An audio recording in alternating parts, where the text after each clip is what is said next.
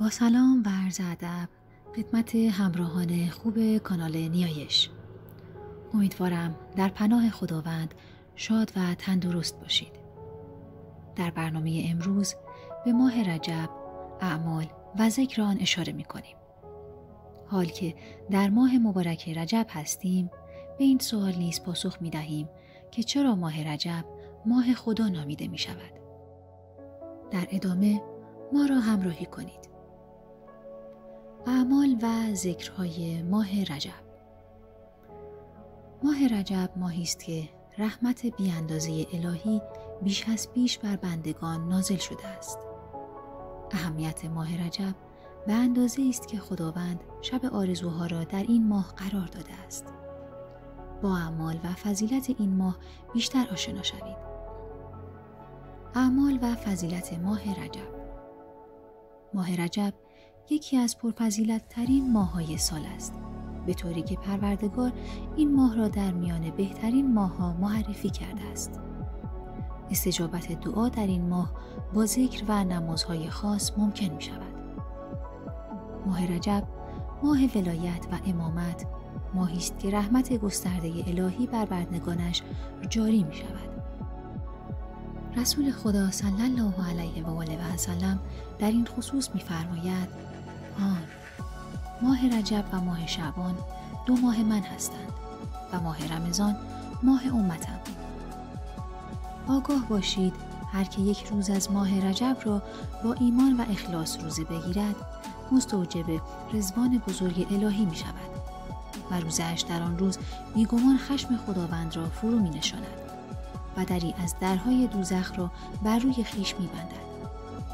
اگر به اندازه گستره زمین ضرب او داده شود برتر از روزش نخواهد بود. و پاداش این روزه هرگز با حسنات دنیوی قابل مقایسه نیست. جز اینکه باید اخلاص داشته باشد و برای تقرب به خدای عزوجل انجام داده باشد. و همانا شب هنگام ده دعایش مورد استجابت قرار می گیرد. اعمال روزها و شبهای ماه رجب در روایت دیگری از رسول خدا صلی الله علیه و آله و سلم نقل شده است. ماه رجب ماه خداست و ماه شعبان ماه من و ماه رمضان ماه امت من است. از حضرت رسول سوال شد چه معنا دارد سخنت که فرمودی ماه رجب ماه خداست؟ حضرت پاسخ داد زیرا ماه رجب ویژه آمرزش و مخصوص مغفرت است. در این ماه خونی ریخته نمی شود. حتی در جاهلیت نیز ماه رجب جزء ماههای حرام به حساب می آید و جنگ و خونریزی در آن تعطیل می شد. و در این ماه خداوند اولیا و محبانش را مورد آموزش قرار می دهد و توبهشان را می پذیرد و آنان را از دشمنانشان می رهاند.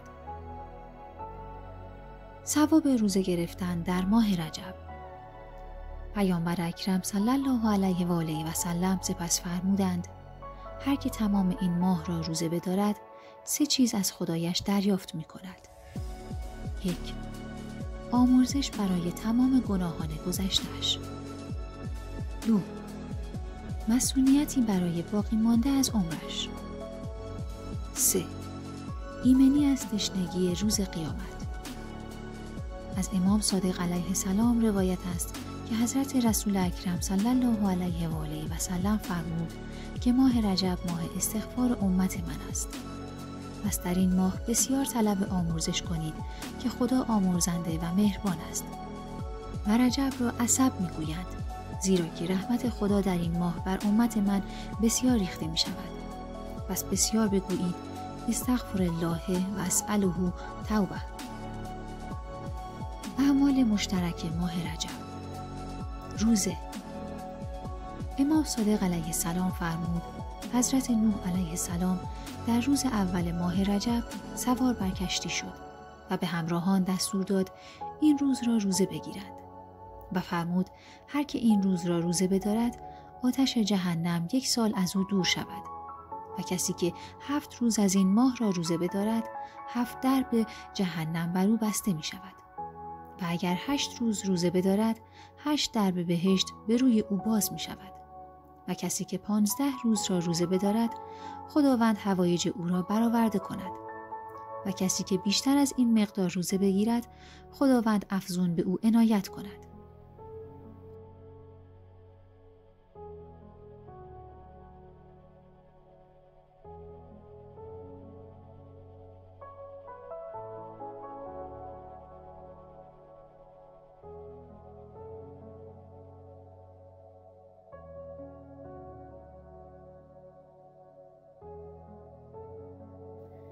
امام کاظم علیه السلام فرمود رجب نام نهری است در بهشت که از شیر سفیدتر و از اصل شیرین تر است. کسی که یک روز از ماه رجب را روزه بگیرد خداوند متعال از آن رود به او می نوشاند و فرمود ماه رجب ماه بزرگی است که در آن پاداش حسنات چند برابر است و گناهان آدمی در آن آمرزیده می شود کسی که یک روز در ماه رجب روزه بگیرد آتش جهنم به اندازه یکصد سال از او فاصله می گیرد. و کسی که سه روز در این ماه روزه بگیرد بهشت برای او واجب می شود. از حضرت رسول اکرم صلی الله علیه و آله روایت شده که هر کس در ماه رجب صد مرتبه بگوید استغفر الله الذی لا اله الا هو وحده لا شریک له و اتوب الیه و آن را به صدقه ختم کند. حق تعالی برای او رحمت و مغفرت و برای کسی که چهارصد مرتبه بگوید و بنویسد برای او اجر صد شهید عطا فرماید. روایت است کسی که در ماه رجب در صبح هفتاد مرتبه و در شب نیز هفتاد مرتبه بگوید.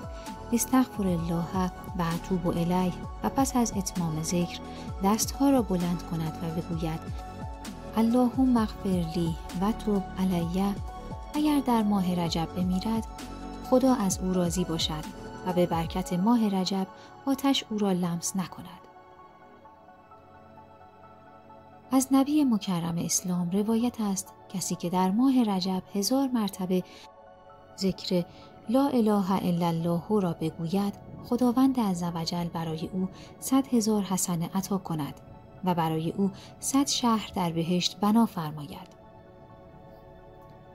سید ابن تاووس در اقبال از حضرت رسول اکرم صلی الله علیه و آله و سلم فضیلت بسیاری برای خواندن سوره قل هو الله احد نقل کرده است که ده هزار مرتبه یا هزار مرتبه یا صد مرتبه در این ماه تلاوت شود و نیز روایت کرده که هر کس در روز جمعه ماه رجب صد مرتبه سوره قل هو الله احد را بخواند برای او در قیامت نوری شود که او را به بهشت کشاند. اعمال شب و روز اول ماه رجب شب اول ماه رجب شب شریفی است و در آن چند عمل وارد شده است. یک وقتی هلال ماه دیده شد فرد بگوید اللهم اهله علینا بالامن و الایمان و سلامت و الاسلام. ربی و ربک الله عز وجل دو غسل. حضرت رسول اکرم صلی الله علیه و آله فرمودند هر کس ماه رجب را درک کند و اول و وسط و آخر آن ماه را غسل نماید از گناهان خود پاک می شود مانند روزی که از مادر متولد شده است. 3. زیارت امام حسین علیه السلام. چهار. بعد از نماز مغرب 20 رکعت یعنی ده تا دو رکعتی نماز گذارده شود تا خود اهل مال و اولادش محفوظ بماند و از عذاب قبر در پناه باشد روایات درباره فضیلت روزه ماه رجب بسیار است که علاقمندان می توانند برای کسب فیض بیشتر به کتاب شریف مفاتی الجنان از شیخ عباس قومی مراجعه کنند.